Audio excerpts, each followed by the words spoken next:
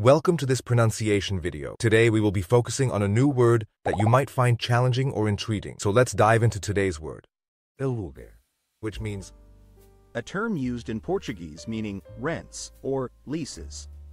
let's say it all together. aluga, aluga, aluga, One more time.